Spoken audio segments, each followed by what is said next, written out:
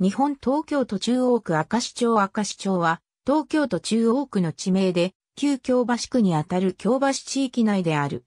町目の設定のない単独町名である。郵便番号は104-0044。隅田川川口部の西岸に位置し、隣の港と合わせて鉄砲巣と俗称されるほか、講義の築地に含められることがある。聖路加国際病院の所在地で、区関係施設が数カ所存在する。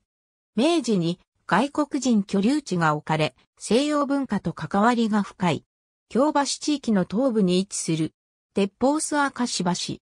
三代、高住作当初の明石町は、明石橋東端のごく狭い地域であり、江戸時代には、現在の町域は、明石町のほか、十軒町、船松町二丁目、そして町人街と、武家地の混在地で占められていた。武家地には、赤穂事件で有名な赤穂藩浅野家の藩邸も含まれる。中津藩奥、平家の中屋敷で、前の両桜が解体新書を完成させたため、蘭学ことはじめの地とされる。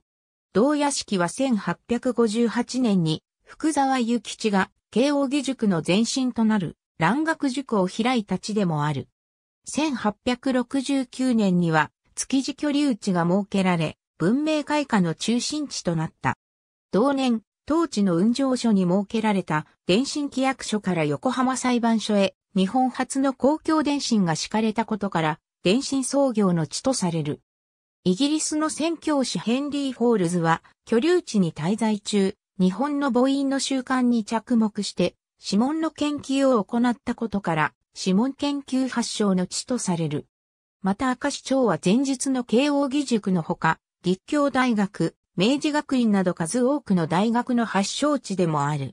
その他隣接する入船は、靴京、築地は、活字発祥の地とされるなど、当地やその周辺を発祥地とするものは数多い。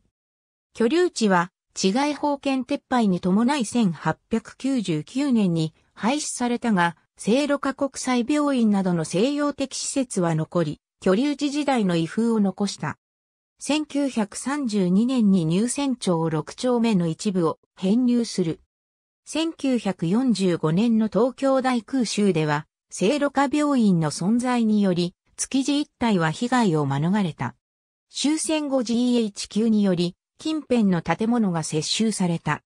1968年に入船町3丁目の一部を編入し、現在の町域が完成した。